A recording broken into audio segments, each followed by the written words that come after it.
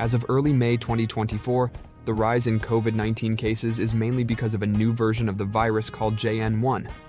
This new version spreads faster because it has changes that help it hide from the body's defenses. However, it doesn't seem to make people sicker than before, even though more people are getting infected.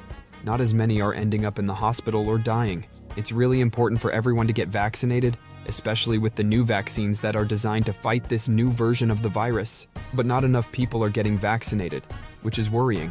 It's also crucial to get tested if you feel sick and to follow the rules to stop the virus from spreading. And there are medicines available like Paxlovid that can help people who are at high risk of getting very sick. If you start experiencing symptoms of COVID 19, it's important to take the following steps to manage your health and prevent the spread of the virus. 1. Recognize symptoms. COVID 19 symptoms can vary widely but commonly include on fever or chills, 2. Cough, 3. Shortness of breath or difficulty breathing, 4. Fatigue, 5. Muscle or body aches, 6. Headache, 7. New loss of taste or smell, 8. Sore throat, 9. Congestion or runny nose, 10. Nausea or vomiting, and diarrhea. 2. Isolate yourself. 1.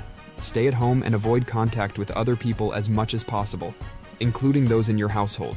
2. Use a separate bathroom if available and avoid sharing personal items.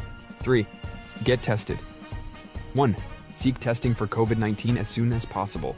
Rapid antigen tests or PCR tests are widely available at pharmacies, health clinics, and testing sites. JHB Public Health, everydayhealth.com. 4.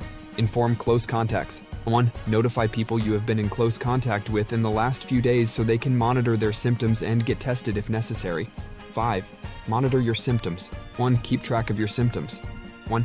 Most cases can be managed at home, but seek medical attention if you have difficulty breathing, persistent chest pain, new confusion, inability to stay awake, or bluish lips or face.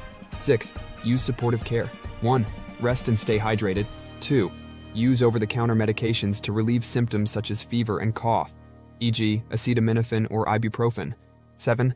Seek medical advice. 1. Consult your healthcare provider, especially if you are at higher risk for severe illness due to age, underlying conditions, or compromised immunity. JHB Public Health, everydayhealth.com. 8. Consider antiviral treatments. 1. If you test positive and are at high risk for severe disease, treatments like Paxlovid can be effective but need to be started early. 1. Contact your healthcare provider to see if you are eligible. IDESA Home, JHB Public Health. 9. Follow public health guidelines. 1.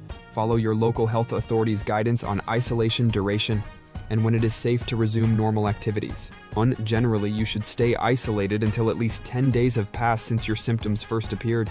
You have been fever free for 24 hours without the use of fever reducing medications, and other symptoms have improved. JHB Public Health. 10. Improve indoor air quality. 1. If you must be in shared spaces, improve ventilation by opening windows or using air purifiers. CDC.